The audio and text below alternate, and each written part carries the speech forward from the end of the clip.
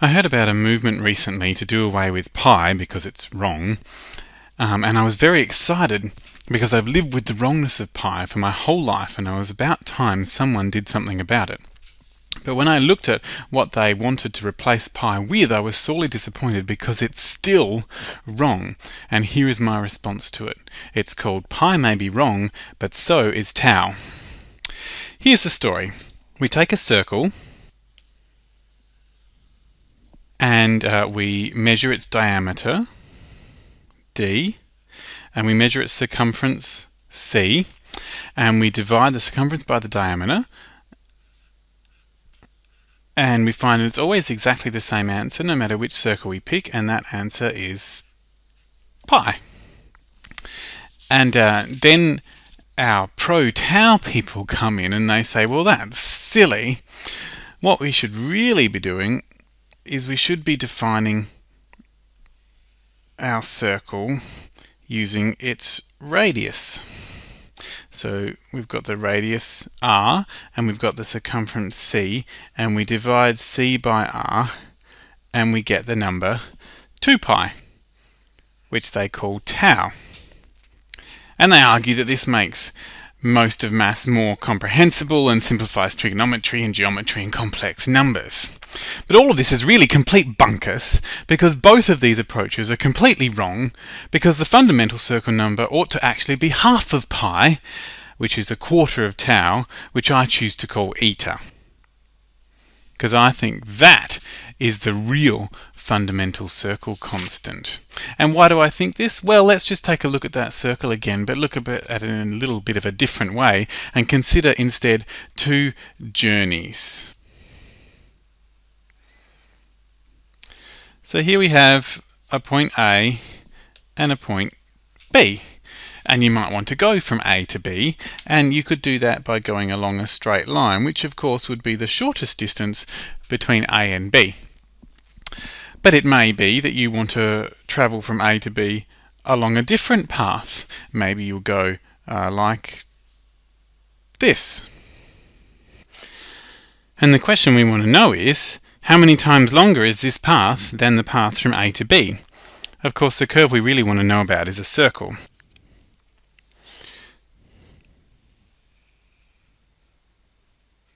So this, this circular path from A to B, how many times longer is it than the shortest distance, which is the distance between A and B? And the answer is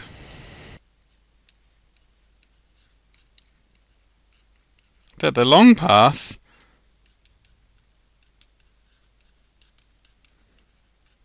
over the straight path is eta.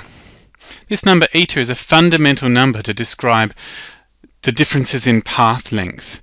Every curve that goes from A to B would have a number like eta to describe how many times longer it is than the shortest possible distance between A and B. So this number eta is highlighting that uh, there is a fundamental constant that goes with every curve and the one that goes with a circle is eta. But it's even better than that. There's more connections that we can focus on. Let's look at one to do with area. Suppose we've got a circle and we want to compare its area to something that we know how to find the area of. So why don't we draw a square inside our circle? We know how to find the area of a square, so let's compare the area of the circle to the area of this square.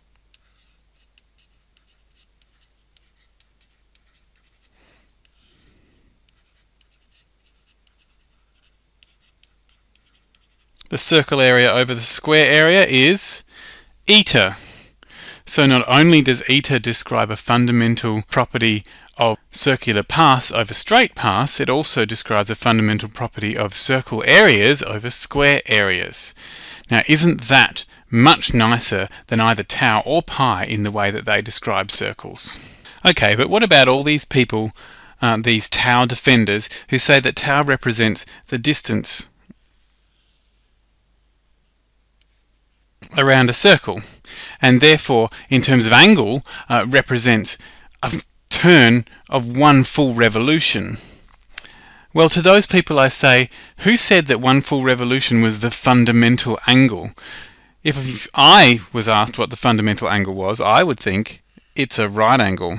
Our society is built on right angles. We spend a lot of time making sure that things are right angles. So it would seem to me uh, that a right angle would be the fundamental angle. And also, trigonometry is built from the beginning on right angles, and so it seems only reasonable that a right angle should be our fundamental angle. And what is a right angle? But a quarter of a circle, right? And so a quarter of a circle would be a quarter of tau and a half of pi and eta. Eta represents a right angle in terms of distances around a circle, um, and so therefore should represent our fundamental angle as eta. And that's why I think it's a logical choice um, for our fundamental circle constant. But what about all these claims that trigonometry is better with tau? Well, that's ridiculous because trigonometry is all about right angles and eta is a right angle. Let's just have a look at the beginnings of trigonometry. Look, when you start trigonometry, you draw like a right angled triangle, like this. And you draw an angle in your right angled triangle, um, and then say this one here is A, and this one here is B, and this one here is C, then you say that um, sine theta is A on C, and uh, cos theta is uh, B on C. Right, that's the beginnings of trigonometry. But see that um, this angle just here that's eta, and therefore these other two angles here add up to eta. So that means that this angle over here in the corner is actually eta minus theta. Alright, well what does that mean? Well let's just have a look. Sine of eta minus theta would be b on c, which would be cos theta. And cos of eta minus theta would be A on C, which would be sine theta. So sine of eta minus theta is cos theta, and cos of eta minus theta is sine theta. That's brilliant. It's so easy to understand. Two angles um, that add up to a right angle have matching sines and coses, but the other way round. Much prettier than what you would write if you had a pi on 2 or a tau on 4 there. And let's also think about what would happen if we wanted to define uh, sine for angles more than um, eta, more than that fits into a right angled triangle. So what you normally do is you draw a circle and you draw your angle like this. And uh, you draw a line there. And in fact what you do is you figure out a little angle that goes in here and you define sine uh, and cos and tan and all your other trigonometric things based on that angle, which does fit in a right angled triangle. So it's still all about right angles, even when you're bigger than a right angle.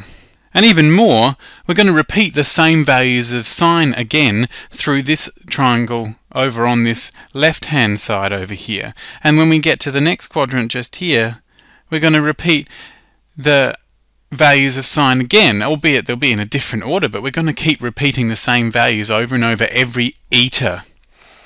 Let's draw what that looks like as an actual function of sine.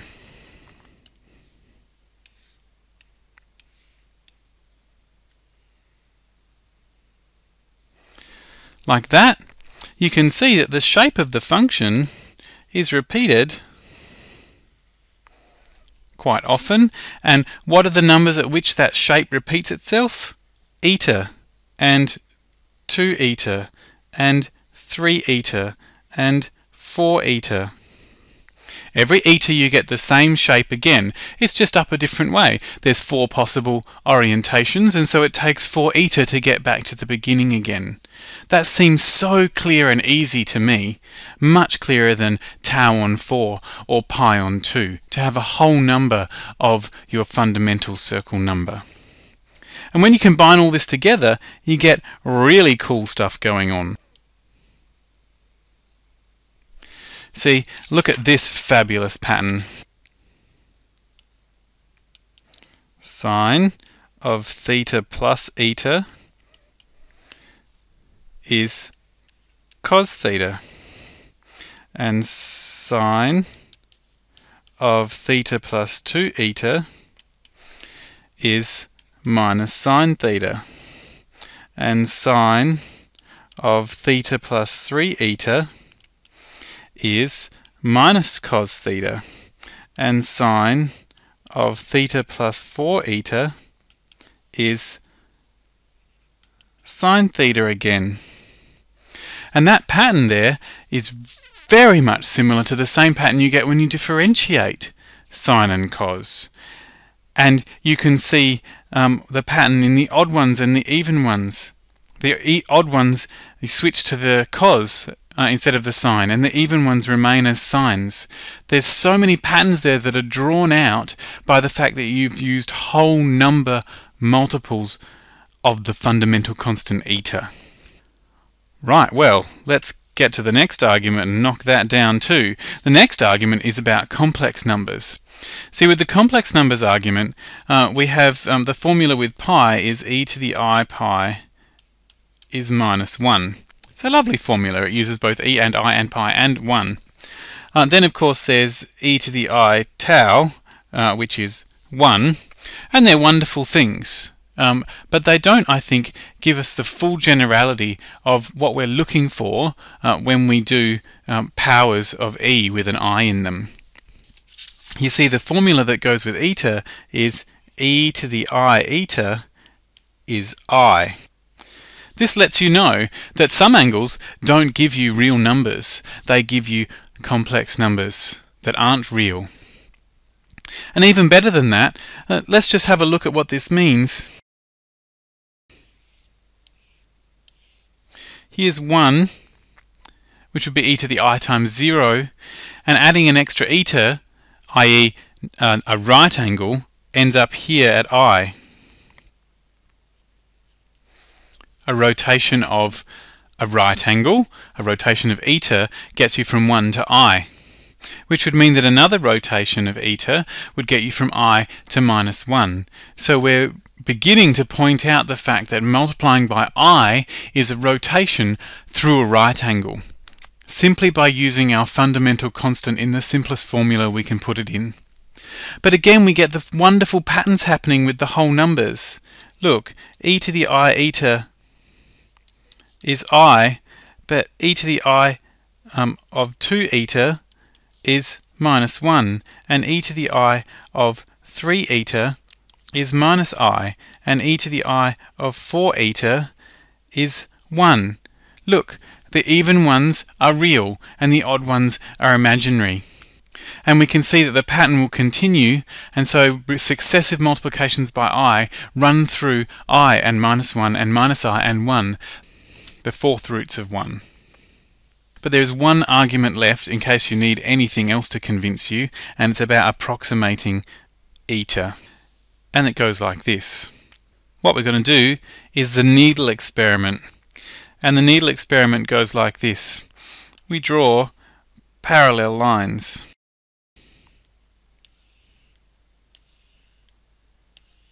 A whole heap of them. And we pick a needle whose length is the same as the distance between those parallel lines. And we throw our needle at the parallel lines. And maybe it ends up here, or maybe it ends up here, or maybe it ends up here, or maybe it ends up here, or here, or whatever. And sometimes it hits the lines, and sometimes it doesn't. What do you think the probability of your needle hitting one of the lines is? You know what? In our old notation using pi, we can write that probability down.